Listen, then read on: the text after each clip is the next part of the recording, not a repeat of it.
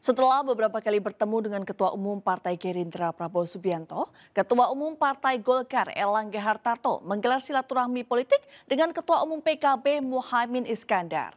Pertemuan ini memperkuat sinyal bergabungnya Koalisi Indonesia Bersatu KIB dengan membentuk koalisi besar bersama Koalisi Kebangkitan Indonesia Raya KKIR.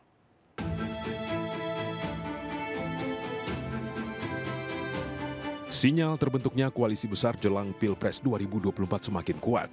Sinyal ini semakin kuat saat dua koalisi yaitu Koalisi Indonesia Bersatu KIB dan Koalisi Kebangkitan Indonesia Raya KKIR semakin intensif menggelar silaturahmi politik.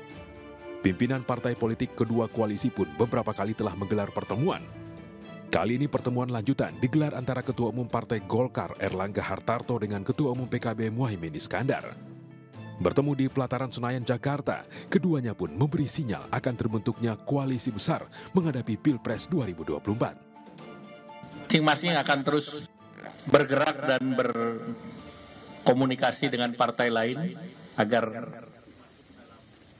koalisi besar, tetapi intinya Golkar dan PKB. Capres, cawapresnya masih dalam proses pembahasan. Saya sangat percaya Partai Golkar punya pengalaman, PKB punya sejarah, Partai Golkar juga punya sejarah.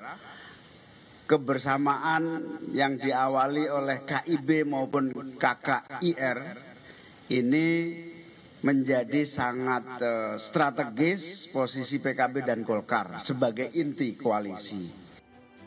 Sebelum bertemu dengan Caimin, Erlangga Hartarto juga berkesempatan bertemu kembali dengan Prabowo Subianto di kediaman Ketua Dewan Pembina Partai Golkar Abu Rizal Bakri.